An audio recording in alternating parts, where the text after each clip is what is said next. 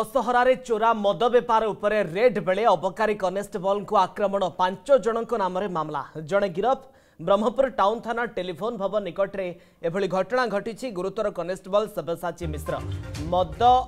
ବନ୍ଦ ମଦ ଦୋକାନ ନିକଟରେ କିଛି ଦୁର୍ବୃତ୍ତ ଏକ ବ୍ୟାଗ୍ରେ ମଦ ରଖି ବିକ୍ରି କରୁଥିଲେ ଏହାର ଭିଡିଓ ଫଟୋ ନିଜ ମୋବାଇଲ ଯୋଗେ ବାହାର କରିଥିଲେ କନେଷ୍ଟବଳ ଜଣକ ଏହା ଦେଖି ଦୁର୍ବୃତ୍ତମାନେ ତାଙ୍କୁ ଆକ୍ରମଣ କରିବାକୁ ଗୋଡ଼ାଇଥିଲେ ସବ୍ୟସାଚୀ ୟୁନିଫର୍ମରେ ନଥିବାରୁ ଦୁର୍ବୃତ୍ତମାନେ ଚିହ୍ନି ପାରି ନଥିଲେ ଟାଉନ୍ ଥାନା ପୋଲିସ ଘଟଣାସ୍ଥଳରେ ପହଞ୍ଚି ଛାନଭିନ୍ କରିଛି ପାଞ୍ଚ ଜଣଙ୍କ ନାଁରେ ଟାଉନ୍ ଥାନାରେ ଅଭିଯୋଗ ହୋଇଥିବା ବେଳେ ଜଣଙ୍କୁ ଗିରଫ କରିଛି ପୋଲିସ ସେହି ମଦ ଦୋକାନଟି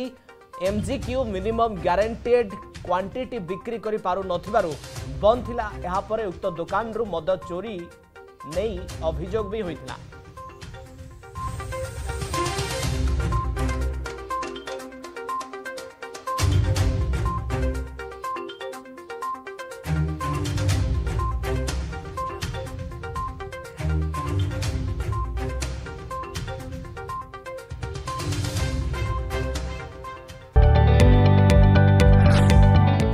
जदि आपण को आम भिडी भल लगा तेब आम चेल्क लाइक सेयार और सब्सक्राइब करने को जमा भी बुलां नहीं